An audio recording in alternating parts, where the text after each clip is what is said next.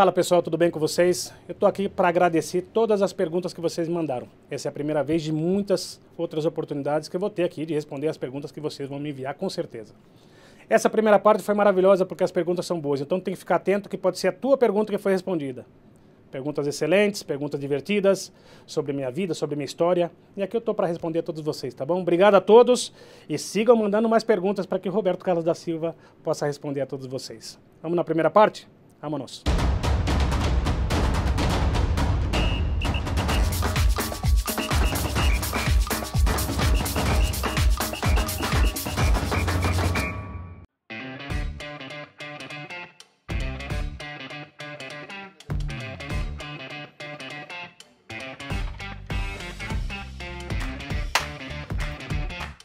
Se você não fosse um jogador de futebol, qual trabalho você teria? Tirando outros esportes. Calum, é, de verdade eu queria ser. Se eu não fosse jogador de futebol, eu queria ser advogado.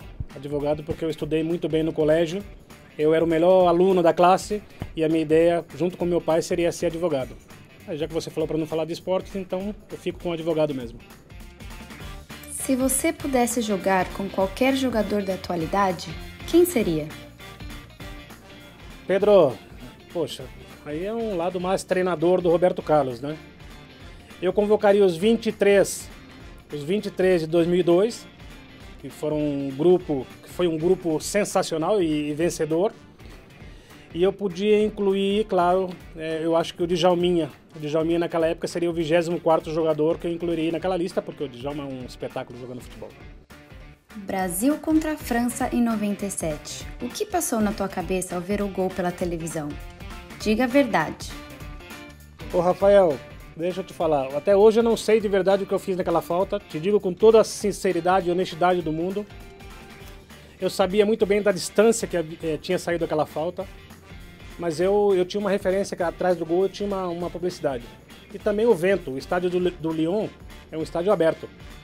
E como a bola, a bola pesava pouco e o vento soprava para dentro do campo, então aí a única coisa que eu tinha que fazer era colocar bem o pé de apoio, bater com a parte de fora do pé, já que a parte interna eu não conseguiria fazer o gol porque o Bartê estava bem posicionado.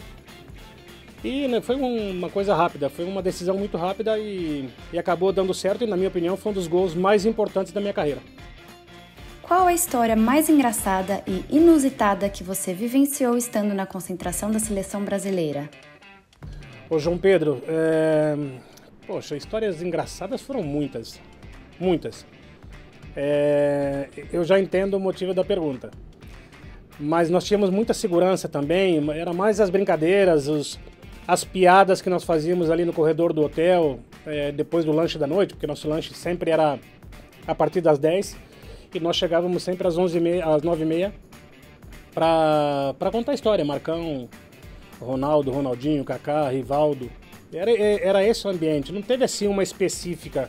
No geral, o grupo da seleção brasileira éramos, éramos amigos e ao mesmo tempo muitas histórias para contar, mas não tem assim uma história engraçada. Não sei, uma vez que o pessoal tentou invadir o hotel para ir no nosso andar, enfim, mas tinha muita segurança e ninguém podia passar.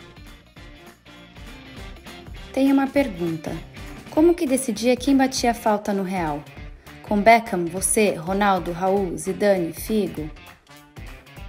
Lux, tudo bem com você? Obrigado pela pergunta. Aqui no Real Madrid era muito fácil. A gente se entendia só de olhar um para o outro. E também pela distância, se fosse perto, é, o Beckham, o Zizou e o Ronaldo eram os três que estavam treinando, sempre. E essa falta um pouco mais distante pela potência da perna do papai, é, eu batia. Então eu não me aproximava de onde eles estavam, que era a falta perto da área, e a falta um pouco mais longe, eles nem se aproximavam porque eu empurrava todo mundo e tirava todo mundo ali perto de mim para me concentrar melhor. Então era muito fácil. Falar, o Beckham não falava muito inglês. Eu não falava nada de inglês. Se o Beca usava o inglês, eu não entendia, ele tampouco me entendia. O Zizu entendia o, o, espanhol, mas não entendia, quando ele falava francês, não entendíamos. Então era só numa olhar, no olhar, ficava tudo mais fácil, por isso que nós fizemos muitos gols de bola parada. Qual o seu conselho para conseguir bater a falta com o lado de fora do pé? Eu sempre tento e acaba indo muito pro lado. Muito obrigada. Com muito amor, da Califórnia. Vou te falar um negócio sério. É, isso é um dom, isso é, é, dom de cada um. Eu tenho visto muito em redes sociais é, e recebo muitas imagens de, de meninos que estão tentando fazer gol com a parte de fora do pé. E eu tenho visto que muitas faltas, e acontecia comigo também, que a bola tentava chutar no gol e a bola ia para fora do gol. Ia, ou subia muito, ou ia lá na, no, no escanteio.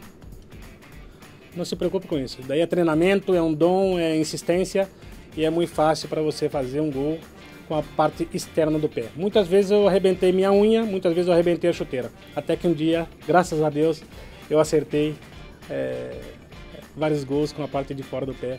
E até hoje as pessoas se lembram disso. Entendeu? É treinamento, confiança e manda bala. Fala pessoal, hay que se inscrever no meu canal, apertar a campainha e seguir, claro, o Roberto Carlos, que é maravilhoso. Um abraço. Manda para teus amigos, para os inimigos e vamos divertir-nos muito. Um grande abraço a todos.